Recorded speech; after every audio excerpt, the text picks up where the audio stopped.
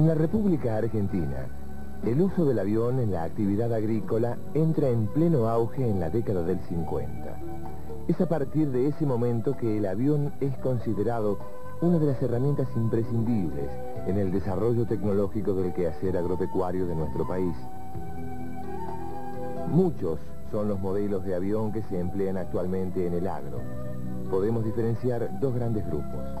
Los aviones de turismo adaptados a la aeroaplicación de plaguicidas como el Cessna 180, Piper PA-18 y el Cessna 182 de gran uso en nuestro país y los específicos o de ala baja como el Piper Pawnee 235, Piper Bravo, Cessna Agtrack, Cessna Agwagon y algunos biplanos como el Grumman.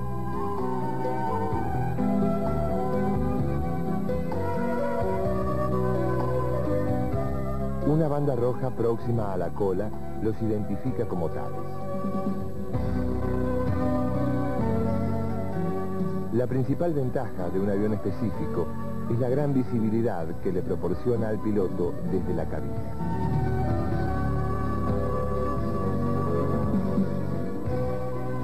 Otra característica de importancia es la ubicación del centro de gravedad, coincidente con la posición del tanque, a efectos de otorgarle más estabilidad y seguridad. al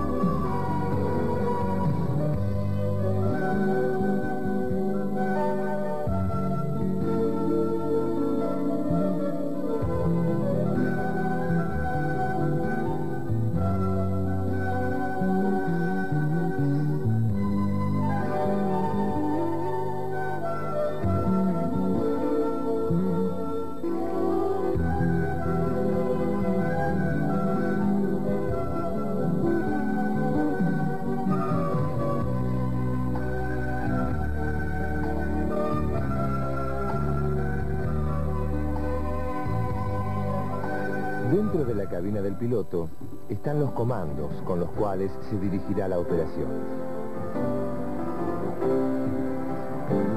Cuenta con un manómetro ubicado en la parte superior del tablero, bien visible para el piloto a efectos de controlar la presión de trabajo, la palanca de accionamiento de la llave de tres vías, la palanca que acciona la descarga de emergencia, el medidor del tanque y elementos propios del avión de confort y seguridad.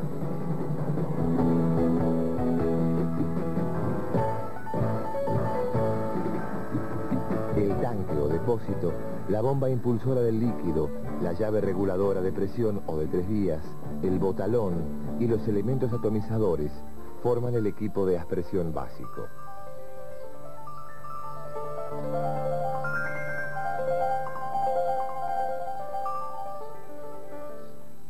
Veamos cada uno de ellos. En el tanque se almacena el caldo de aspersión, los polvos, los gránulos o las semillas a distribuir.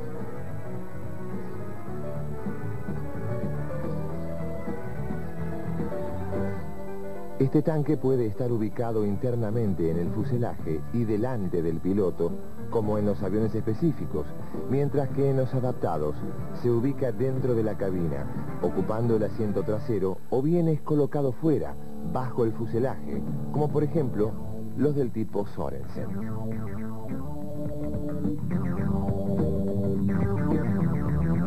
La boca de carga tiene una tapa de cierre hermético que impide el derrame de caldo durante el trabajo y la salida de vapores nocivos que llegarían a la cabina.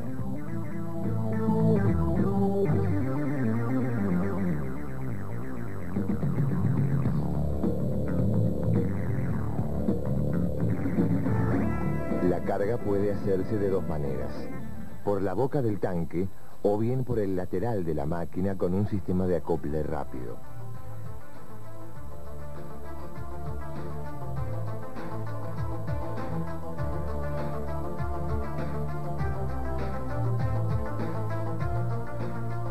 Dentro del tanque existen paredes rompeolas, las que hay que preservar evitando dañarlas durante las operaciones de carga. Estas evitan el desplazamiento del centro de gravedad del avión en los virajes de las cabeceras. A su vez tiene una salida de emergencia que permite, ante un obstáculo que aparezca durante el vuelo, eliminar todo el caldo en escasos segundos, aligerando rápidamente el peso de la aeronave.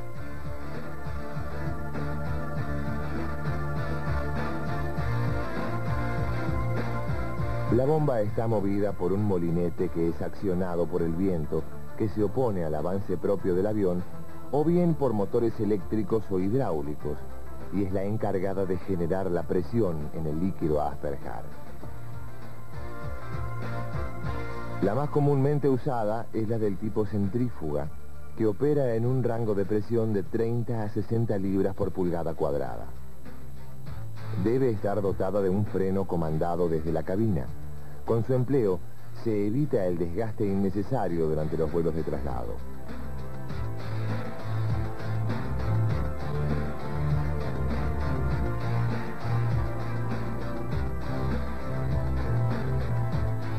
Después de la bomba hay un filtro que impedirá el pasaje de impurezas con el consecuente daño a la llave reguladora de presión.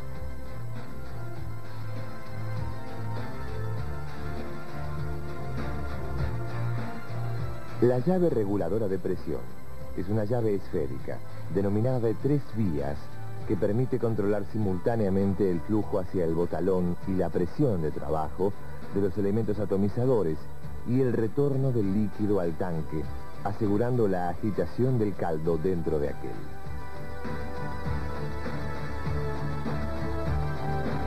Un manómetro, ubicado en el tablero del avión, indica la presión de trabajo, algunos pilotos suelen contrastar el valor de la presión de trabajo con la presión del botalón.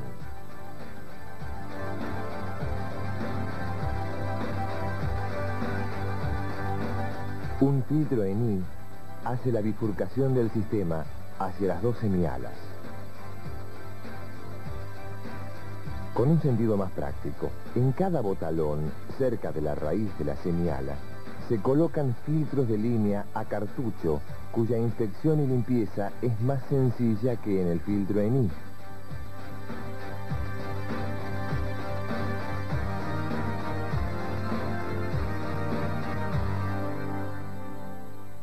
El botalón se ubica hacia atrás y levemente por debajo del borde de fuga del ala para aprovechar la corriente descendente que allí se genera.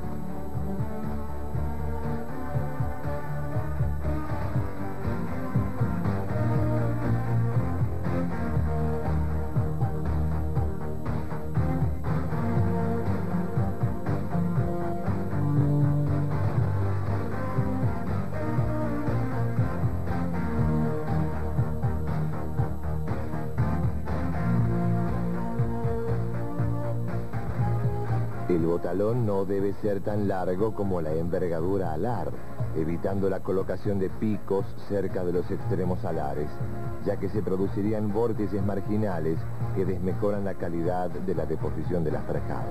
La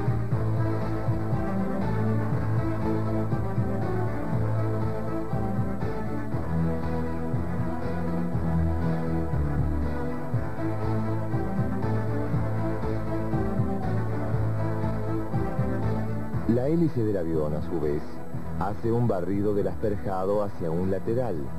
Esto se corrige variando la cantidad de picos a uno y otro lado de la hélice.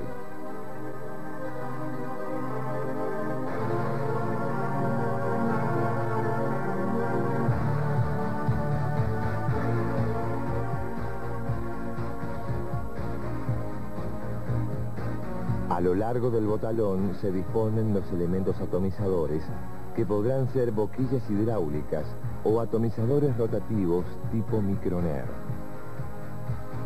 Tratándose de boquillas hidráulicas, se distribuirán a lo largo del botalón de 30 a 40 picos, según los requerimientos técnicos exigidos por la aplicación, recurriéndose al mayor número posible toda vez que se desee lograr gran uniformidad en la banda de distribución.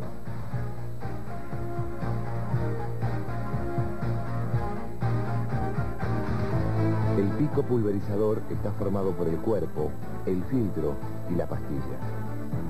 En el cuerpo del pico está la válvula antigoteo, que consta de un resorte y una membrana de teflón o cuero liso. Cuando la presión del líquido es superior a 7 libras por pulgada cuadrada, Este desplaza a la membrana por contracción del resorte y se produce la aspersión. En las cabeceras, al cerrar el sistema, la presión cae y el resorte se expande impulsando la membrana contra el asiento del pico, produciendo el cierre hermético y evitando el goteo.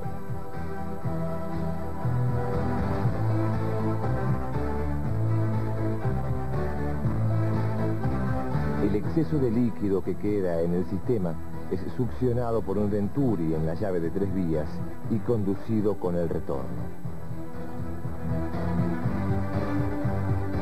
La presencia de un filtro impide la obstrucción de las pastillas aspersoras, pudiendo ser de malla o de ranura en el caso de aplicar polvos mojables. Las pastillas pueden ser de abanico plano para la distribución de herbicidas o bien de cono hueco para la distribución de insecticidas, fungicidas y herbicidas.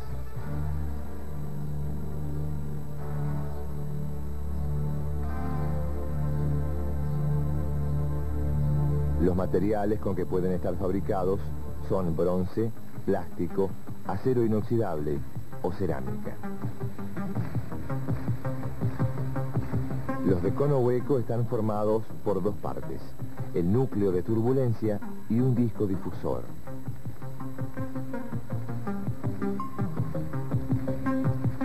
Distintos núcleos de turbulencia llevan los números 13, 23, 25, 45, 46 y 56 y los diferentes discos difusores desde el número 1 al 16.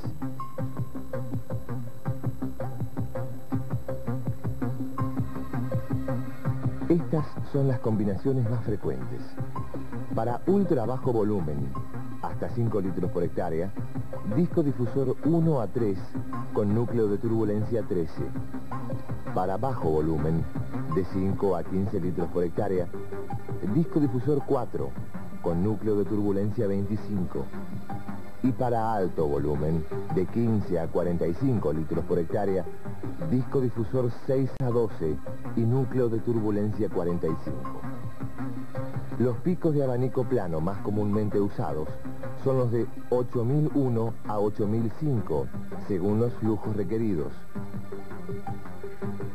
Para las aplicaciones ultra bajo volumen, existen equipos especialmente diseñados para tal fin, como el Microner o elementos de fabricación nacional cuyo funcionamiento es similar a las de los Microner. Los Microner se colocan de 2 a 6 por avión según el modelo de atomizador y están formados por un canasto de alambre tejido que gira alrededor de un eje fijo gracias a la fuerza del viento ejercida sobre la hélice plástica del dispositivo. El caldo entra por el eje hueco, llega a la válvula esférica y logra abrirla si la presión que trae es superior a 7 libras por pulgada cuadrada, pasando a través de los deflectores de proyección a la parte exterior del eje. Luego la malla metálica logra dividir la masa líquida en pequeñas gotas individuales. La velocidad de giro se puede regular variando el ángulo de ataque de las palas de la hélice entre 25 y 90 grados. Así variamos el tamaño de la gota. A menor ángulo de ataque, mayor será la velocidad de rotación y menor el diámetro de la gota. Otra forma de aumentar la velocidad de giro para obtener gotas pequeñas sería utilizar paletas de mayor tamaño o bien paletas torcidas en lugar de derechas.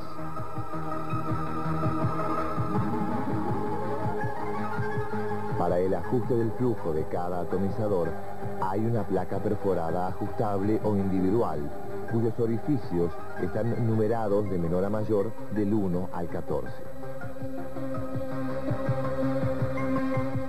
La industria nacional ha intentado el desarrollo de equipos similares a los recientemente vistos, pero de menores dimensiones, empleándose de 6 a 8 elementos atomizadores por avión.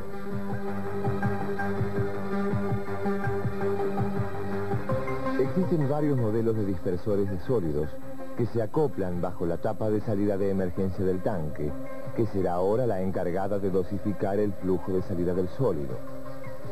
El dosificador tipo tetraedro, mediante una quilla que se ensancha hacia atrás, produce la aceleración del material hacia los laterales, provocando la dispersión. Un removedor evita el atascamiento en la salida. En el del tipo Venturi, el aire penetra por su parte anterior, impulsando al material que va cayendo de la tolva a salir por las bocas traseras.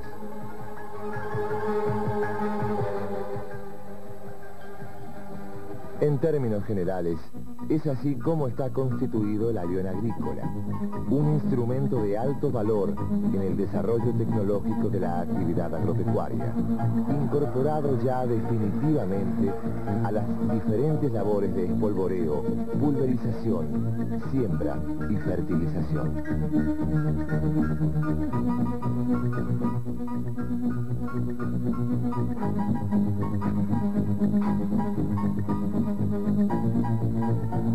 Thank you.